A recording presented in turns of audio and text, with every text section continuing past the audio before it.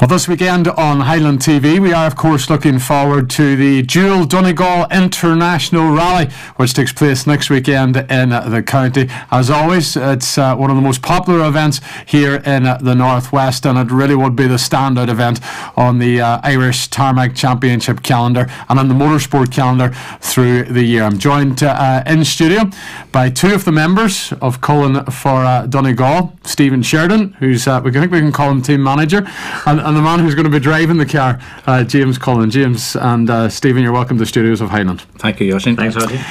We're what about a week or so out from the from the international rally. You're going to compete in a Mark Two. Preparations, fair to say, James, haven't been ideal over the last what five to seven days, have they? I think they were going great there till I come in here this morning. and Steve was after telling me uh, as uh, the car we're having, Mark Two Escort, has been hired from um, Noel Loughlin, and there's a, a guy had it in Munster last weekend and he was going great and doing brilliant until the second last stage. he uh, did a little bit of damage, so apparently now that's um, the knock on effect of that means we're not getting a run in the car the first time we'll see it, yeah. now our drive it will be at least at the weekend. So just have to apologise to the guys behind me now in advance. Yeah. Well, it's the Rally and lease that you're going to this this weekend. The Rally and lease now this Sunday, so Saturday. You're, you're yeah. not going to get as much prep time as, as you hoped in the car. No, I'd hope to get yeah. you know a little run out on it and see where the gears are and get mm. the seat done and just to get a, a, a, an acclimatisation with it and, and feel what you know these cars are I've been lucky enough, I've sat on with Martin Doherty in his car and it's a real eye opener. These cars are not slow. Yeah. Like they're seriously quick cars and uh, maybe they, they shouldn't be given to old boys like me to start with, but that's the way it is. So uh, it's not the ideal thing, but sure, listen, this is all about what it's a nostalgia trip for all of us. So as long as uh, we don't hold anybody up at the weekend and we learn a little bit and have it ready for Donegal. And just we're, we're, we're not putting wings or quarter panels on her before yeah. Donegal. We'll be happy. Okay, well, sure. We'll, we'll talk about that in a wee bit more depth in, uh, in a few moments' time. But uh, Stephen, we'll talk about the idea of Cullen for Donegal. It is, of course, 25 years since the, the Pink Panther took victory. When did the idea of, of marking the occasion come about and, and who was the man involved in it? The idea is on the go now for over a year and a half, and it started um, one night in Ramelton and the infamous Murrayview Steakhouse. Um, Aidan Caddy was there, and Aidan came up with this brilliant idea, and Dennis Orr and myself were in his company. And um, we all thought it was a great idea. We just had to figure out who was going to take it and run with it, and um, it ended up that the three of us brought on board another few guys: uh, Brian McDade, Joe Hunter, Martin Doherty, and that's the team that has got it to here. Yeah the Escort is the car. Did you did you have a good look at trying to find uh, a pink car, a pink Sierra? We did. Uh, we investigated and talked to um, people that have Sierras, but the Escort has evolved over the years to be a pretty good car to drive, a really reliable car. The Sierras are running an historic. They haven't evolved the same way, and reliability was going to be an issue. And the effort that we were putting into this, we felt that we owe to James, we owe to the people who's put the name in the car and to everybody else. We need a car that has a good chance of going the distance, and we felt that the Sierra just wasn't the option, so we ended up with the Escort. Yeah. You've been involved in, in rally and, and, different teams, and you've been highly involved in the, in the organisational side of yeah. it uh, as well, Stephen. But I'm sure this is probably one of the most exciting projects you've been involved in, is it? Well, I've been away from rallying for 10 or 12 years and I never thought that I would be involved at any level again like this, apart from going to watch the rally. But this has, this has a brilliant buzz about it and it has captured the imagination of a lot of people. Um, people are happy to become on board and are happy to be involved. And the times it's in it, it's not easy for people to write the checks to do something like this here. But fair play to everybody. They've caught the spirit. They've captured the idea of it. It's a nostalgic thing.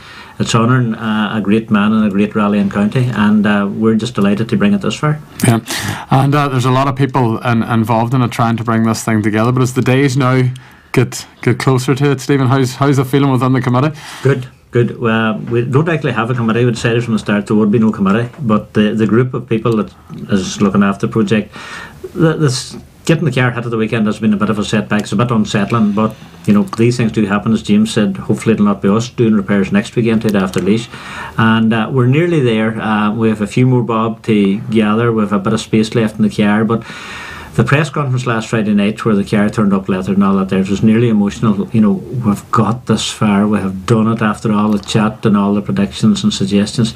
To actually see her sitting there with a letter on her was uh, it was something special. It really Yeah. was. And the car was getting a lot of attention as well from those Yeah. those that was there. Yeah. Fair play to Bernard CBM. He uh, promised us a car that would be noticeable, and he has incorporated all the wee things that we wanted. The bit of pink on her, the pink panthers on her, if you look in the right places, and um, our sponsors have all got the prominence that they deserve. Yeah. James, back to you. What did you think of all this when they first approached you? Well, to be quite honest with you, I thought this is great. It'll never happen. Like it's a great idea. Let's we'll go with it for the crack, and we'll enjoy talking about the old days. And uh, and then as the thing went on, like it become, you know, it's it's reality now, and it's. Uh, uh, it's a wee bit un- not unsettling, but you know you're a bit apprehensive because uh, never been been a long time out of the car.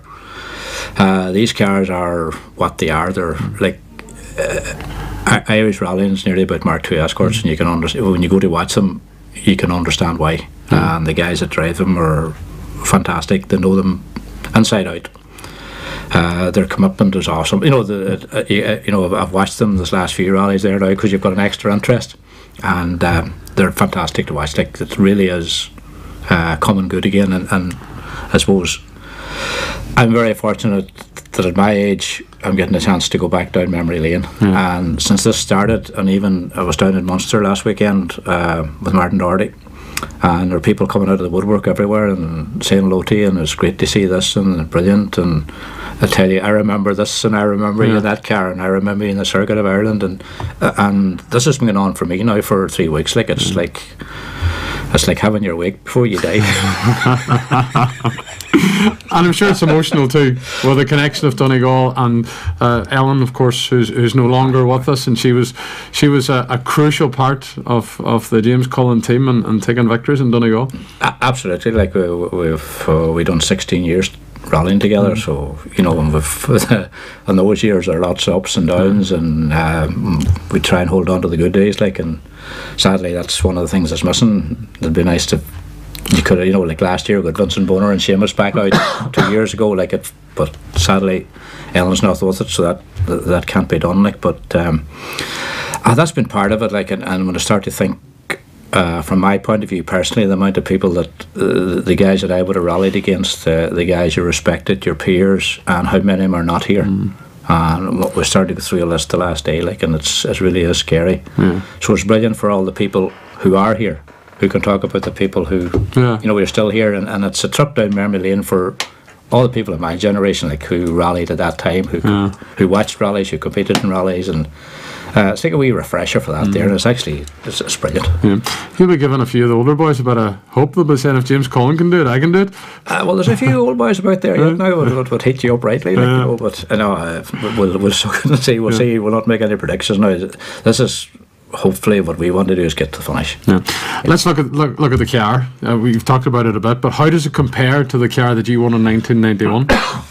Uh, they're completely different. Like uh, they really are. I can't even remember what the car felt like back then. You know, because everything evolves, and we've gone through the four wheel drive era since that, and that would be my last memories of rallying would be that in the Group N car. Um, they really are now. You can understand why the buzzes in them, why guys want to drive them. Uh, I was in Martin's car, and it it just feels like a world rally car. It's pretty serious car now. Hmm. and I'm sure you're looking forward to going around some of the big the big classics in it. I'm looking for hmm. you know it, once you get this over and Friday over and settled in, hmm. like, and you, you go back into the, the old classic parts of the rally, and uh, the best ones are Sunday, unfortunately. So just we hope we're there for Sunday, and it'd be like to head to Glen and Atlantic Drive and Fanad some of the best stages in the world again. When you thought like I, you know, you'd never do this again, like Yeah. completely and totally.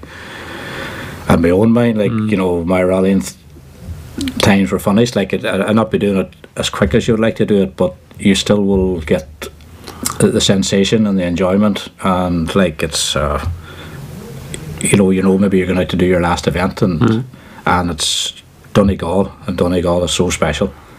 Uh, I've loved it for thirty years, and you know, to get the opportunity to to do this again, and I think it's as you get older and you are retired and you come back, you, you actually appreciate a lot more of your own sport and your own county. Uh, when you get the chance to to go down that road again. I know there'll be a lot of memories over the weekend, but you have to stay focused as well and get get the car to the end, don't you? Uh, Well, that's the, that's that's the plan, like, and hopefully we, we can behave ourselves and, Yeah. and do that, like, and uh, you know. But uh, as I keep repeating, the car is they're they're a seriously quick machine, like, and you simply hope that you're reacting. No, if I can fi- be comfortable with the car, get a pace that we're comfortable with, and enjoy it. And usually, when you enjoy it, then things kind of fall into place. Yeah. And, like as I keep saying, uh, the support we're getting and the people who are coming to the rally, like uh, brother George is coming back from Thailand for this rally. There's people coming out that rallied with us years ago who serviced, who supported, and And they're all coming back again. Like, and so Yeah. th- th- that's great for everybody. And that's as proof, Stephen, that how important James is to, to, to Donegal. For sure. Um, we have got great support and people are very enthusiastic um, in different ways, but have got mighty support. We wouldn't have got the support. I wouldn't have got the support if it was me who's going rallying or anybody else. People are delighted to get the opportunity to support them again. And, you know, sometimes I think that we're not great in this country at honouring our heroes. We do talk occasionally about them, and then you meet up, and unfortunately, maybe it's at somebody's funeral or something like that. And I, I think it's a privilege to be able to honour them in this way, to be able to do this. And the proof of that is in the way that people rode on behind us to do it. Because no matter what sport you're involved in, everybody has heroes, and it's nice to be able to recognise them and give them the recognition they deserve. And, and I'm sure the, the motorsport fraternity and supporters in Donegal and elsewhere would like to honour, James when he's when he's coming over the finish ramp on, For on, on the Um, Sunday. He has promised us he's going to get her to the finish ramp, and uh, he's not even going to mark her. and uh, we're really looking forward to that. And there'll be some party on Sunday night. It'll not be the party of '91, but we'll give it a good run. Yeah. And just finally, James, um, if you're going to get this car to the finish, will the racing bug be back at any stage over the weekend? Because I'm sure once you sit in the car and once you get comfortable, that's going to appear at some stage. Uh, the problem is like uh, your mind tells you one thing and your body tells you another. So hopefully, like uh, you know, that, um, this is rallying at the end of the day, and and uh, once you put the numbers in the side, you don't know what's going to happen. Hopefully, you can control yourself. You know, the idea is to finish, like, but you know, there's there's no there's no guarantees on on, on anything, like you know. And we have to mention the man as well that's sitting alongside you. He's going to be calling the notes because he's going to have an important role of, I will- keeping you calm, is it? Uh, well, I've two guys now. Actually, Joe Fried's going with me, and Joe's been about for as long as me, and has been retired for ten years. So we've got him convinced to go Yeah. to Laois. So and uh, Damien Connolly, the dent man. Uh, like Da- Damien's very, very experienced, one of the best co-drivers in the country. So, Da- so hopefully, Damien's influence will will help us get it. Like our, our job's to get it to the finish, really, and Yeah. hopefully we can do that. Like, but th- that's the goal. But that's everybody's goal.